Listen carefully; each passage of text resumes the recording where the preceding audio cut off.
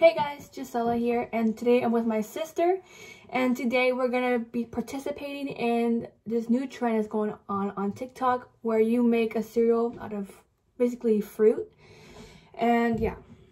First you are gonna need some blackberries, blueberries, and strawberries and pomegranates but sadly they didn't have any in stock and you're gonna need coconut water. My sister's gonna use coconut water straight out of a coconut and I'm gonna use it out of this can.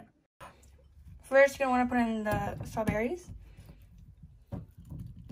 Then some blueberries. I love blueberries. I have to put more. Sorry, I love them. Okay, and some blackberries.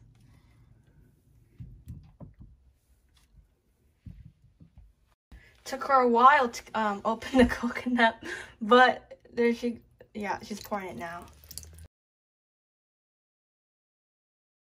Okay, next I'm gonna open this can and pour it in.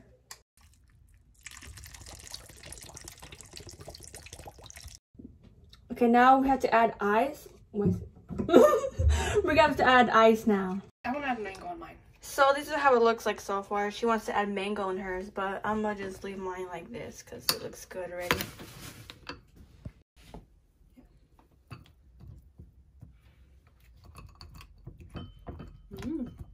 Okay, so now we're gonna try and see if it's really good. Can we just get blueberry? And...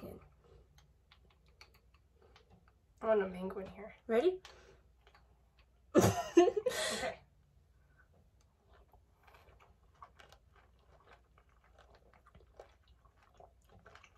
That was good. this is actually really good. Mm-hmm.